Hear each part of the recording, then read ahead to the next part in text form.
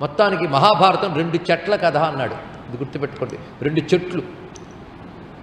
ఉపోద్ఘాతంలో రెండు చెట్లు పెట్టాడు. మీరు రెండు చెట్లు చెప్తాను. మీరు ఏ చెట్టు నాటుకుంటారో మీ ఇష్టం. ఎందుకంటే విషవృక్షాలు ఉంటాయి అమృత వృక్షాలు ఉంటాయి. రెండు చెట్ల కథ అన్నాడు. ఎందుకంటే భారతీయ సంస్కృతిని చెట్లతో చెప్పడం చాలా విశేషం. వృక్షంతో ఎందుకు చెప్తారంటే వృక్షం విత్తనంతో మొదలై కొమ్మలు పళ్ళ వరకు విస్తరిస్తుంటుంది. అలా విస్తరిస్తూ ఒక్కటి అనేక రకాలుగా కనబడుతుంది చెట్టే. అవునా కదండి? చెట్టు ఒకటే అంటారు. కానీ ఒక్క చెట్టే కానీ ఎన్ని లక్షణాలు ఉంటాయి దానికి? వేరు కాండము కొమ్మలు రెమ్మలు పళ్ళు పువ్వులు ఇన్ని ఉంటాయి కదా? పైగా విస్తరిస్తుంది.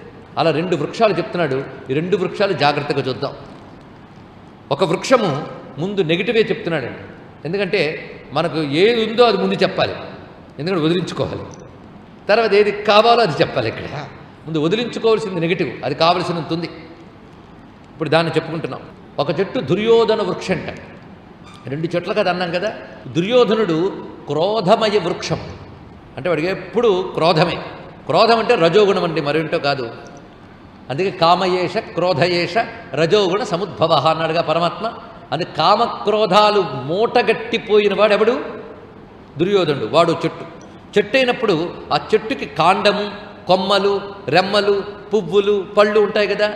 దుర్యోధనుడి చెట్టుకి కాండం ఎవరయ్యా అంటే స్కంధ కర్ణ వాడు చాలా ప్రధానం. కర్ణుడున్నాడే వాడు దానికి బోధే. ఇక శకుని తస్య శాఖా. శకుని గారు కొమ్మలు. అంటే దుర్యోధనుడు ఉన్న అధర్మం స్ప్రెడ్ చేయడానికి పనికొచ్చారు వీళ్ళు వ్యాపింప చేయడానికి. అందుకే ఇక్కడ చూపిస్తున్నాడు ఇక్కడ. శకునిస్తశ్య శాఖ. దుశ్శాసన పుష్పఫలే సమృద్ధే. దుశ్శాసనుడు సమగ్రమైన పుష్పఫలాలు విస్తరింపజేశాడు వాడు. కనుక మొత్తం దుష్ట చతుష్టయం కలిపి ఒక చెట్టు అయ్యారు. ఇంతవరకు చెట్టు చెప్పాం కదా ఈ చెట్టు పేరండి దుర్యోధనుడిని చెట్టు. వాటిలో పార్ట్స్ వీళ్ళందరూ. మరి మూలం? ఇప్పుడు చూపిస్తున్నాడు. ఈ చెట్టుకు వేరెవరు? ఈ దుర్యోధనుడబడే అధర్మ వృక్షానికి వేరుగాడెవడయ్యా అంటే ధృతరాష్ట్రుడు. వ్యాసుడంత చమత్కారంటే ధృతరాష్ట్రో మనీషి అన్నాడండి. ధృతరాష్ట్రో మనీషి. ఆ మాట చెప్పడంలో విశేషం. మనీషి అంటే బుద్ధిమంతుడు. ధృతరాష్ట్రో మనీషి అని కూడా విభజన చేయవచ్చు. బుద్ధిమంతుడైన ధృతరాష్ట్రుడు. కానీ సంధి చేస్తే ధృతరాష్ట్ర అమనీషి అని వస్తుంది. అమనీషి అంటే బుద్ధి లేనివాడు అని అర్థం ఇక్కడ. అదే మాటని విడదీస్తే ఒక అర్థం కలిపితే మరొక అర్థం. చూసారు అక్కడ అంటే ధృతరాష్ట్రుడు పైకి బుద్ధిమంతుడిలా కనబడ్డా అసలు బుద్ధి లేనివాడు వాడే అని. దీన్ని బట్టి భారతం యొక్క స్వరూపం ఏమిటో మొట్టమొదటి ఇచ్చేశాడు వ్యాసుడు. ఇంకేం కావాలండి ఇక్కడ? కనుక ఇక్కడ వెళ్ళినవాడు ఇప్పుడు వెళ్ళని చెప్పేశాం. హీరో ఎవరు? హీరో ఇందాక చెప్పేశాం.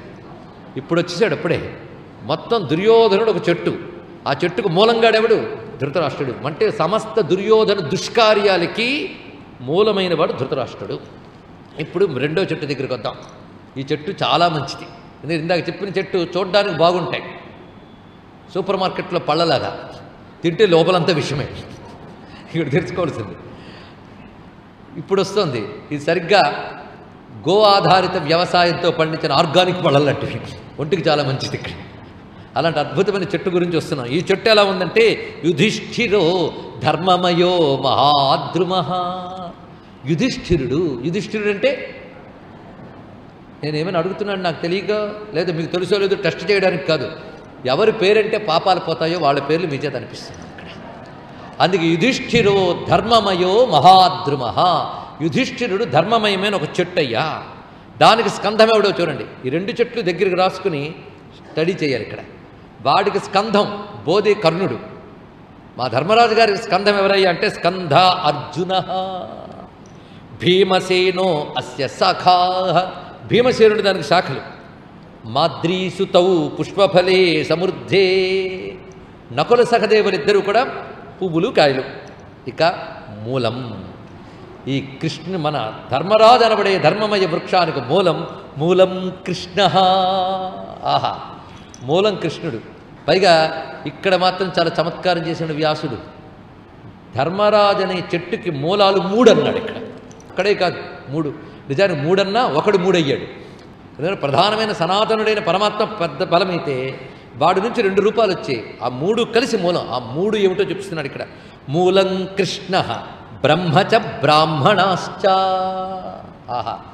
ధర్మమయమైన యుధిష్ఠిరుడైన వృక్షానికి మూడు మూలములు కృష్ణుడు బ్రహ్మ బ్రాహ్మణులు.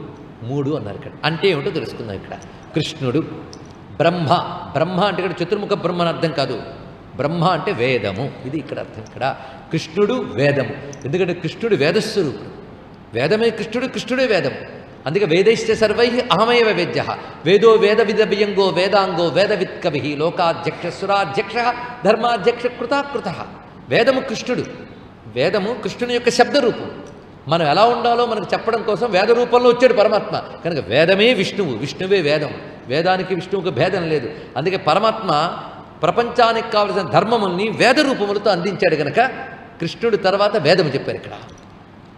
అయితే ఆ వేదములో చెప్పిన ధర్మం ఏమిటో తాము తెలుసుకొని తాము ఆచరిస్తూ ప్రపంచానికి చెప్పేవారిని బ్రాహ్మణులు అంటారు. ఇప్పుడు బ్రాహ్మణ శబ్దానికి అర్థం తెలిసింది కదా ఇక్కడ?